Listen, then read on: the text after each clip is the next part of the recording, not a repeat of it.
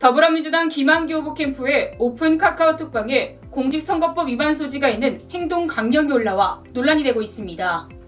13일 한 매체는 지난 12일과 이날 오전 김한기 후보가 참여한 공식 채팅방에 선거운동 행동 강령이 올라왔다고 보도했습니다.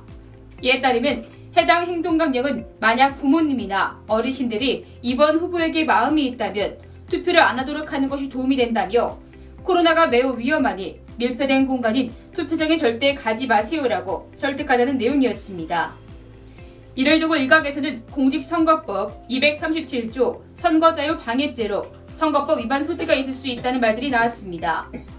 이에 대해 중앙선거관리위원회 관계자는 구체적으로 명확하게 사실관계 확인해서 법리 검토하지 않은 이상 현재 위반 여부를 말할 수 없다고 말했습니다.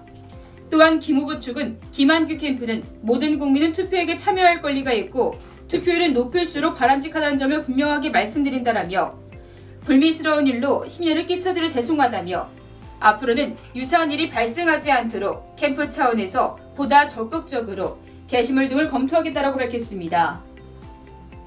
지금까지 바른언론 국민의 소리 TV의 이지윤 기자였습니다.